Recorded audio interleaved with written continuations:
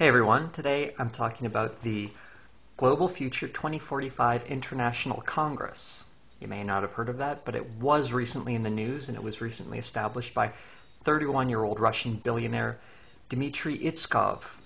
And what this initiative is, is sort of a fund for various forms of research and also an annual conference to display some of the findings and, some of the more interesting theories related to cybernetic immortality.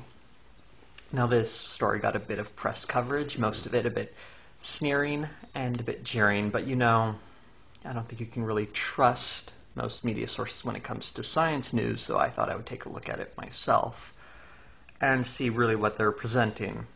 And this is one of the instances in which uh, the sneering media is well, they're kind of on the mark, partially.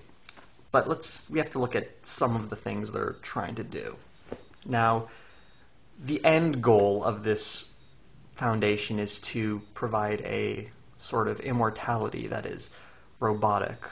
That is to say, it would take human consciousness and place it in the body of a robot in which we could live in essentially forever, or until, I guess, the robot stops functioning generally something that would give our lifespans a much, much exaggerated boost.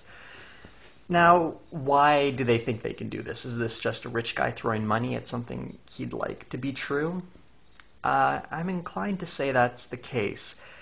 The first sort of deadline he lays out is uh, by 2020, he believes we'll have fully functioning robotic bodies that could be controlled from a distance uh, neurologically. That is, sending signals from our brain as remote controls, basically. Now, that's an interesting proposition. Very recently, there was this wonderful story about a woman who had a uh, synthetic arm she was controlling with her mind. She had been uh, paralyzed, and it was being used to drink, and it was quite wonderful and a huge step forward. Now, will we have an entirely fully functioning human body in eight years? That seems less likely.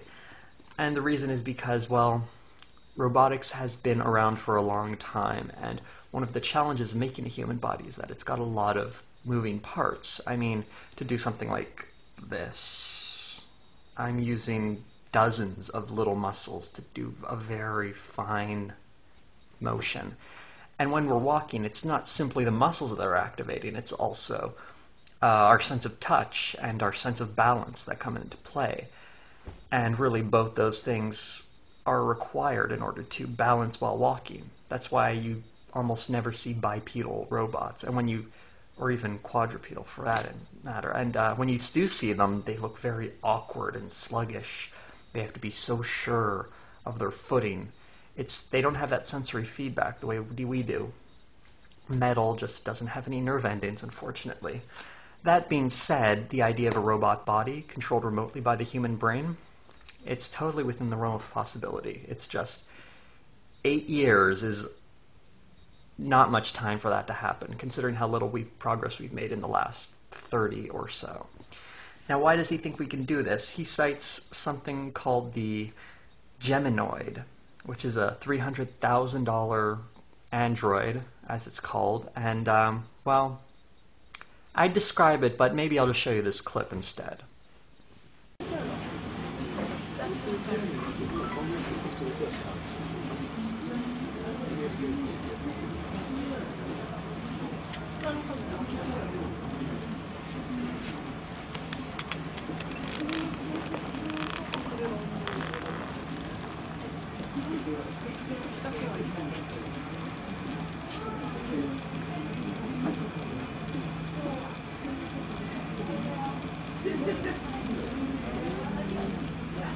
Now that's the Now the Geminoid is about $300,000 invented in Denmark. Denmark. Now the $300,000 Geminoid was invented in the Netherlands and gives you about a bit of upper torso movement and some facial movement, but that's about it. It's actually quite limited, and uh, a whole robotic body would be much more difficult to put together and probably far more expensive. One of the limitations of robotic technology is that there's no tactile feedback. So when you press down on a surface, as if you were doing so with your foot, you've got your sort of a touch feedback, your sense of balance comes into play. And robots don't quite have this, or at least not as sophisticated as human beings have it. So that's one of the reasons why robotics is so far behind, and the 2020 deadline is a bit unrealistic. Now, some of the other stuff Mr. Itskov cites, uh, or I should say the Global Future 2045 project cites, are Moore's Law, that computer power will double every 18 months. Now, assuming this to be true, and you can double it, triple it, quadruple it, whatever, this doesn't negate the problem that we have no real theory of human intelligence which is why we can't really create artificial intelligence. Now, you might be a bit shocked to hear that. Various theories of mind we have sort of give the brain all sorts of different models of how it, how it operates, and I could go on for a while about that. The most relevant one, though, is the human mind as a computer. Now, the main difference between human mind, the human mind, and a computer is that uh, a computer is an artificial device. It's a mechanical sort of, and it's built in a way so that if you remove one bit, it all kind of falls apart and won't function properly. Now, the human brain, on the other hand, if you were to kick someone in the head, they might be a bit messed up, but they'll still function. That's because the human brain is very plastic and malleable. It changes over time the way a computer can't. And you can store new things on your computer and try to treat your thoughts as software, but thoughts and thinking processes are actually a little more difficult, difficult and different. And um, I wish I had, could go on about that for half an hour or so, but uh, I kind of want to get through the rest of this uh, and mention the next bit of uh, evidence, so to speak, pushed forward by the Global Future 2045 project is uh, a prediction by Ray Kurzweil, who uh, actually had a pretty good prediction in the 80s about the internet becoming big in the mid 90s. Not a bad prediction, he sort of He's one of those people who likes to predict future technologies, and they actually misquote him. They said he would, or he had predicted by the by 2040s or so, we'd have robotic organs throughout our body. He was actually talking about nanomachines circulating through our bodies, repairing and slowing down the aging process and doing cool things like that. Uh, just a little different than having uh, robotic organs, but um, that doesn't escape the problem of the difficulties of creating a robotic body, which is primary functions would be to move around, basically. Uh, I don't think you, if you're going to give yourself a robot body, why would you use a liver? Why not just have it enjoy liquor without having to worry about absorbing nutrients or anything from it? So it's a bit absurd to worry to use that bit of evidence, and um, it's sort of in fitting with this whole project. Uh, moving on to their their first phase, the robotic body would end would have a deadline of 2020, but by 2025 they would like a robotic body that the brain can sort of plug into. Now, if you remember that episode of The Simpsons, it's an older one where Mr. Burns builds the perfect worker, and it's sort of like a it's a Treehouse of Horror episode where it's kind of uh, Frankenstein's monster thing where he takes Homer's brain and puts it in the robot body. That's the basic premise, although I guess you'd want a better brain than Homer's. So uh, basically give the brain an immortal body. Now this is not that far-fetched.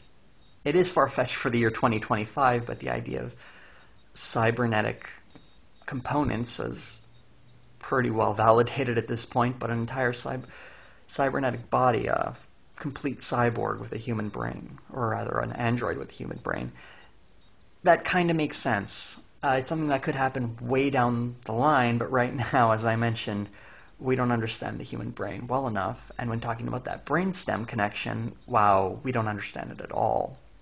I mean, if we did understand it, we could possibly create treatments for people suffering spinal cord injuries. Uh, sadly, that isn't the case. Hopefully, that will change over time. I certainly hope so.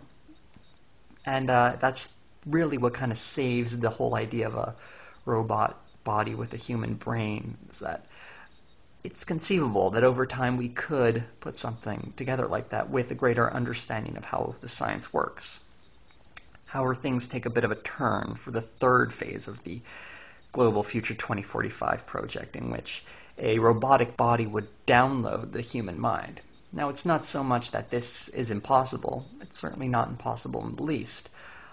Uh, the problem is, though, is when the human mind is downloaded. It's not really transferred from one body to the next. What it, what is hap- what would happening as we currently have technology for at the moment is that a copy would be made of the human brain. Now, when you download something, you're not really taking it from one place and putting it somewhere else. You're just making a copy of something that exists somewhere else onto your own computer. If you're downloading, you know, something off the internet. And that's basically how all file transfers work. Now, if the human mind could be reduced to a file, and as I mentioned, we don't really have a good theory of intelligence to even purport the notion that that is even possible, but assuming it was, you wouldn't be transferring yourself, you would be making a copy of yourself. So to conceptualize this, think of if you had a perfect clone of yourself. It wouldn't be like that person and you, or rather, it wouldn't be like you are now that person. It would mean there is just someone else who is exactly like you. And that's the problem with these uh, robotic brains. You would create a version of yourself that is immortal, but that version would not be you. You would still be the biological machine, so to speak. And you can't really escape that, uh, which makes this third phase kind of pointless and kind of a fake immortality. At least fake for the biological versions of us. The robotic ones might disagree. Now, the final phase of the project, 2045, the crazy, ridiculous one I love because it suggests we will have hologram bodies. That is, you know, these light projections that are have that contain our consciousness. This is, for all the reasons I described from the previous phase, pretty ridiculous. But what's even stranger is I'm not sure where you would store consciousness in a series of photons. Photons aren't really known for storing a lot of information. And it sort of solidifies this whole project in kind of bullshit territory. Now, I'm not against the idea of becoming an android or going cyborg or whatever It sounds kind of cool, but ultimately not seeming that likely, unfortunately.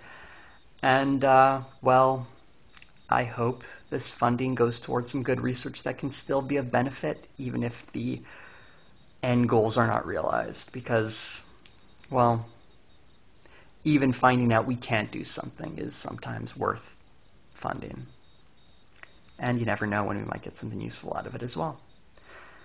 So, hope I wasn't too much of a downer for the people hoping to become androids, and uh, bet on the cyborg horse. That's the future. Thanks for watching.